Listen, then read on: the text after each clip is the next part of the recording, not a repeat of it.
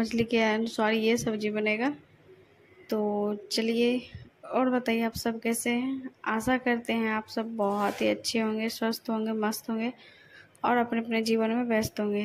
तो आज मैं ब्लॉग वगैरह नहीं, आज मैं आप लोग के साथ रेसिपी शेयर कर रही हूँ, आलू परवल की। तो मैं यहाँ पे तो मैं यहाँ पर ली थी आलू, परवल, चार प्याज, तीन चार प्याज और ये लहसुन, जीरा, मिर्च है, जिसे कि हम अच्छे से बारीक पीस लेंगे और आलू परवल को हम अच्छे से फ्राई करेंगे। तो यहाँ पे मैं कढ़ाई ले ली हूँ। कढ़ाई में डालेंगे ऑयल। ऑयल डालने के बाद इसमें हम ऑयल को अच्छे से गर्म होने देंगे और फिर उसे ठंडा कर देंगे, तभी उसमें हम आलू ऐड करेंगे। तो पहले हम आलू को फ्राई कर लेंगे। आलू को अच्छे कलर चेंज होने तक हम अच्छे से इसको फ्राई करना है और इसमें थोड़ी सी अभी नमक ऐड कर देंगे, थोड़ी सी ज़्यादा नहीं। तो हम आलू को पहले अच्छे से फ्राई कर लेते हैं, जिससे कि हमारी सब्ज़ी जो है बहुत ही टेस्टी लगे खाने में। और पहले मैं आलू को अच्छे से फ्राई करके दिखाती हूँ आप लोग को किस तरह से आलू को कलर चेंज कर देना है पूरा। और चारों साइड से अच्छे से इसमें मतलब वो कलर ब्राउन हो जाए, थोड़ी सी कलर चेंज हो जाए तो फिर इसे हम निकाल लेंगे। तो हम इसे अच्छे से फ्राई कर रहे हैं। तो ये देखिए, कितनी अच्छे से हमारी आलू जो है फ्राई हो चुकी है। तो अब इसे एक दो बार चलाएँगे, फिर उसके बाद इसे छान लेंगे। हम निकाल लेंगे मतलब क्योंकि ऑयल इसमें ज़्यादा है तो छान के ही निकाल लेंगे ऑब्वियसली तो हमारी आलू जो है अच्छे से फ्राई हो गई है। अब इसे हम एक प्लेट में निकाल लेंगे मतलब थाली में। और इसमें डाल देंगे परवल। परवल को भी अच्छे से हम नमक डाल करके और इसे थोड़ी सी प्रेस कर करके फ्राई करेंगे, क्योंकि हमारी परवल जो है थोड़ी बड़ी बड़ी सी है। तो ये देखिए मैंने एक ऐसे छोड़ दिया था, याद नहीं रहा। तो परवल को हम थोड़ी सी प्रेस कर कर के करेंगे और इसमें हम नमक अभी ही ऐड कर देंगे। नमक इसलिए अभी हम ऐड कर रहे हैं, इससे हमारी परवल जो है अच्छे से फ्राई होगी। और इसके अंदर नमक जो कोट कोट के भर जाएगी और खाने में बहुत ही टेस्टी लगता है।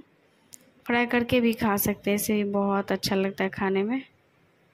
तो ये देखिए तो फाइनली कितनी अच्छी कलर आई है सब्ज़ी की। और इसे हम जो है ना थोड़ी देर और चला चला के और थोड़ी देर चलने देते हैं, उसके बाद इसको हम दबा दबा के जो है फ्राई करेंगे।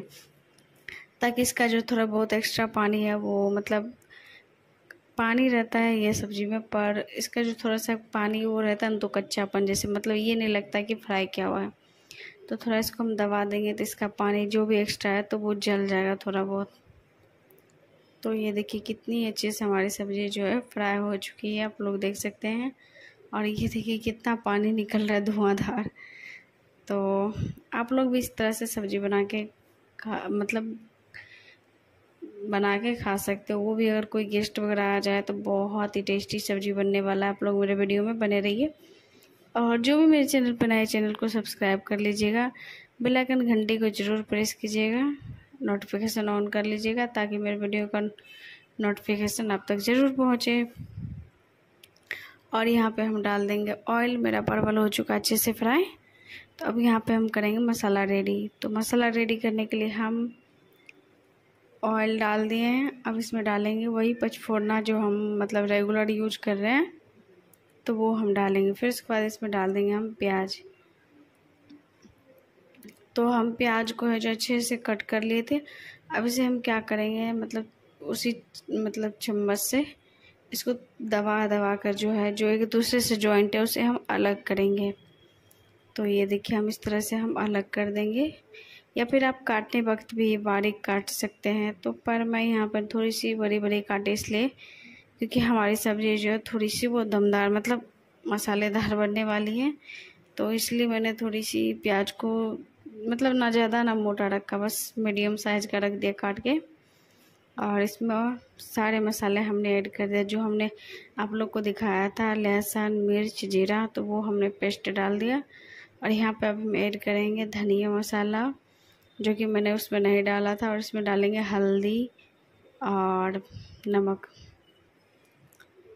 तो फाइनली हम मसाला को फ्राई होने देंगे थोड़ी देर, जब तक ये ऑयल छोड़ ना दे। अच्छे से इसको जब ये ऑयल छोड़ने लगेगा, ज़्यादा नहीं पकाना है तो मतलब पकाना है पर ज़्यादा नहीं, पूरा नहीं पकाना, नब्बे परसेंट पका लेना है मसाला को।